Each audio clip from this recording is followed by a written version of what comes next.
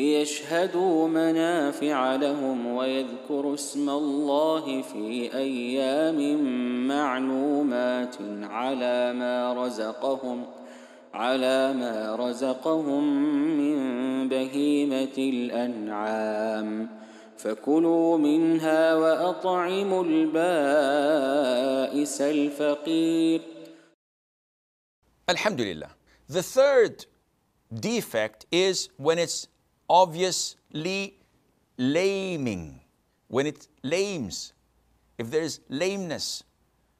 So, Sheikh, we're not going to race with it. Yeah, you're not going to race with it, but it won't be able to cope with other animals in grazing. So, this would impact the way it grazes. And when you look at it walking and limping, you would not choose it for your own. So, how dare you choose it for Allah Azza wa Jal? And finally, the fourth um, defect in it when it's emaciation.